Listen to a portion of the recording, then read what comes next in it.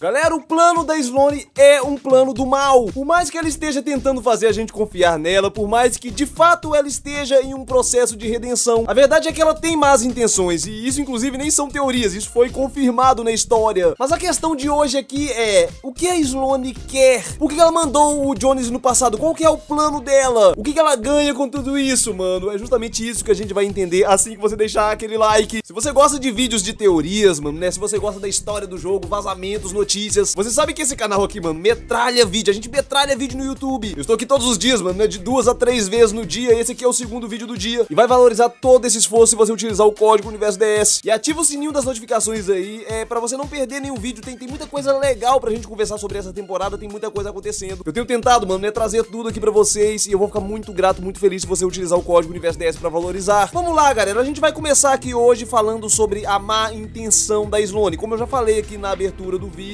é isso isso foi confirmado na história. Tinha um NPC na ilha, mano, é que se você fosse com a Sloane, ela falava que é, sabia que as intenções da Sloane não eram puras, mas eram nobres. Mais pra frente no vídeo nós vamos entender como essa frase se encaixa com tudo. Essa semana a gente teve o segundo áudio da história dessa temporada. Esses áudios são mensagens da Sloane pro Jones. O Jones está no passado em uma missão orquestrada pela Sloane e ela deixa claro para ele que não é para ele mudar a realidade. Isso é interessante, galera. A Sloane faz questão que a história história do capítulo 1 seja mantida. É, pelo menos a parte do capítulo 1, mano. Porque de fato, é, não tem como a história não mudar. Porque a Sloane precisa que o Jones traga algo do passado. O Jones tá com esse desafio aí, mano, né? De é, tirar algo do passado sem mudar o passado. Mas, mano, é, é essa que é justamente a questão. Por que a Sloane quer tanto manter o capítulo 1 exatamente como ele era? No último vídeo eu falei é, sobre a questão da missão ser, na verdade, uma forma de salvar pessoas. Em uma das dublagens, ao invés dela falar que o Jones precisa extrair algo, ela diz que ele precisa salvar todo mundo. Mas não é salvar todo mundo do capítulo 1. A Sloane diz pro Jones não fazer isso. Essa realidade precisa ser destruída. Então, ou ela está se referindo a um grupo menor de pessoas, poderiam ser o 7, né? Salvar todo mundo, salvar todo mundo do 7. Ou então ela está falando de salvar todo mundo de tempos mais recentes. Poderia ser todo mundo da realidade do capítulo 2 e 3. Foi justamente sobre isso o último vídeo, mano. Né? Caso você queira entender toda essa história, eu recomendo você assistir. Mas concluindo aqui, seja lá o que o Jones vai extrair lá do capítulo 1, vai possibilitar a salvação de todos eles. E é aqui, na minha opinião, que as coisas começam a se encaixar, mano. Aqui a gente já tem várias peças desse quebra-cabeça. A gente sabe como a história do capítulo 1 terminou. Terminou com o um buraco negro e esse buraco negro é, gerou um novo Big Bang, reorganizando a matéria da ilha do capítulo 1, criando ali as ilhas do capítulo 2 e 3. O Jones tem em mente é a fantasia de querer mudar isso. Sloane fala para ele tirar isso da cabeça cabeça, mano. É, provavelmente eles já tiveram essa conversa no passado, claro, né? Quando ela estava explicando a missão para ele. E ela já sabe que ele tem essa intenção de, de querer mudar esse evento, né? É, ela não quer que isso aconteça. E faz muito sentido a Sloane querer que tudo aconteça da mesma forma, porque o evento Buraco Negro foi um evento que beneficiou a Ordem Imaginária. No final do evento, algumas frases foram reveladas, né? Algumas frases que apareciam na tela de jogadores. Hoje a gente sabe que essas frases foram enviadas pela própria Ordem Imaginária. E essas frases falavam diversas coisas. Falavam que uh, os sete haviam sido manipulados, o ponto zero permanecia ali no controle deles, né, a ordem imaginária. Essas frases revelavam que tudo tinha dado certo para a organização que estava no controle da ilha, que estava por trás de tudo. Hoje sabemos que se trata da ordem imaginária, deu tudo certo para a ordem imaginária. A verdade é que até um pouco mais da metade do capítulo 2, é, a ordem imaginária brilhou. As coisas por muito tempo deram muito certo para a ordem imaginária e exatamente por isso a Sloane não quer mexer com essa parte da história. Na minha opinião, a Sloane quer mexer justamente com a parte da história onde as coisas começaram a dar errado para a Ordem Imaginária. Mas enfim, galera, com um novo Big Bang acontecendo lá na temporada X, a Ordem Imaginária permaneceu no controle, talvez até com mais poder do que eles tinham antes lá no capítulo 1. Pode ser que eles tenham manipulado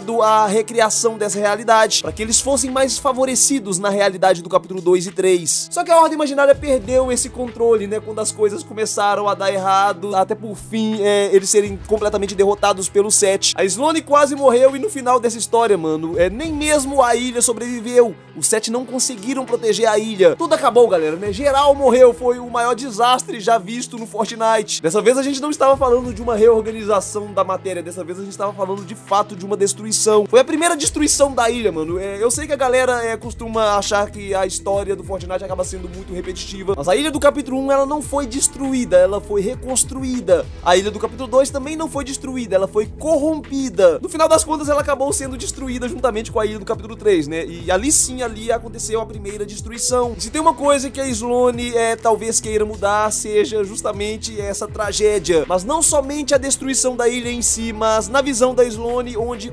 começou essa destruição, com o início da queda da Ordem Imaginária. Se de alguma forma a Sloane conseguir dar uma mexidinha no passado, ela pode conseguir restaurar a Ordem e assim voltar pro poder. lembrando aqui, né, que as novas HQs em parceria com Fortnite se chamam Ordem Restaurada. E tudo isso aqui, galera, se encaixa perfeitamente com a frase de NPC dita a ela. As intenções da Sloane não são puras, mas são nobres. Não são puras porque ela quer trazer a Ordem Imaginária de volta e ela quer estar no controle de novo, mas são nobres porque isso salvará a todos. Então meio que não é que a Sloane não queira mudar o passado, ela não quer que o Jonesy mude o passado. Tá, e o que, que o Jonesy pode fazer, mano, né, pra não mudar a história do capítulo 1, mas é, mudar a história do capítulo 2? Bom, galera, eu ainda vou manter a minha teoria de que é, o Jones esteja no passado para buscar o 7. Vamos dizer que o Jones tenha é, sucesso nessa missão. Vamos dizer que o buraco negro vai acontecer exatamente como foi da primeira vez e vai gerar a ilha do capítulo 2 exatamente como a gente se lembra. É, Odess, mas isso não é possível. A, a, história já mudou, a história já está diferente. Essa ilha que a gente tem agora não é igual à ilha do capítulo 1, ela não tem um vulcão. Não tem como a reorganização da matéria criar a mesma ilha do capítulo 2. Realmente, galera, eu tenho falado muito isso aqui e de fato a história já mudou. Mas o que eu estou explicando aqui não é o que vai acontecer, né? É o que a Sloane planejou acontecer. A Sloane queria manter essa reorganização da matéria exatamente como ela foi. Ela queria que o evento Buraco Negro se repetisse exatamente como ele foi. Porém, os sete foram essenciais para o Buraco Negro acontecer como ele aconteceu. Nesse caso, mano, eu acredito que a extração deva acontecer após a ação do 7. E exatamente por isso nós temos a máquina do tempo acoplada ao foguete. Esse foguete terá um papel muito importante no evento. Quer ver, cara? Olha só, pensa comigo. É, após os 7 resolverem o problema com o ponto zero, os foguetes foram embora, né? Talvez seja justamente nesse ponto, quando os foguetes estão indo embora. Talvez seja ali que vai acontecer a extração. É, só que tem um problema, né? A máquina do tempo estará em apenas um foguete. Isso talvez quebre a teoria de que o Jones tenha ido buscar todos os sete, porque cada um integrante do set estará tripulando um foguete naquele momento. Nesse caso, galera, talvez o Jones não tenha ido no passado para extrair todos os sete, né? Talvez ele tenha ido buscar um integrante específico. Poderia inclusive ser o Fundação, né? Mais pra frente vocês vão entender é, porque faz sentido ser o Fundação. Ou talvez todos os integrantes do set estarão ali é, tripulando o mesmo foguete. E os demais foguetes serão controlados remotamente, né? Por que não? Ou quem sabe o Jones deu um jeito é, de replicar a máquina do tempo, mano. E isso já foi feito na história, né? O Tony Stark fez isso com os ônibus de batalha. Mas aqui já sou eu viajando demais e indo para outras direções, né? Vamos continuar aqui no nosso raciocínio. Por que, que o Jones concordaria em tirar o 7 ou um dos 7 dali? Cara, a Sloane pode ter contado qualquer historinha para ele, né? Ele pode acreditar que dessa forma ele estará ajudando no presente. Ou talvez até mesmo salvando o 7. Porém, galera, com um dos 7 ou mesmo toda a equipe do 7 fora da linha temporal, a história do capítulo 2 muda bastante a partir da temporada 6. Antes disso não muda porque após o Buraco Negro, os 7 não tiveram participação na história por um bom tempo. E eles só voltaram quando o Jones chamou Fundação para resolver o problema do ponto zero, né? Para mais uma vez resolver o problema do ponto zero. Durante a crise 0.0, é mais uma vez ia criar um buraco negro, né? Mais uma vez ia criar um Big Bang, é, mais uma vez ia reorganizar a matéria. Tudo que aconteceu na temporada X aconteceria de novo na temporada 6, mas foi impedido pela Fundação. Se os sete forem removidos da linha do tempo, né? Se o Jones ir tirar o Fundação ou mesmo toda a equipe daquele momento, eles não estarão lá na temporada 6, então a realidade se reinicia ali na temporada 6 mesmo. Teríamos uma segunda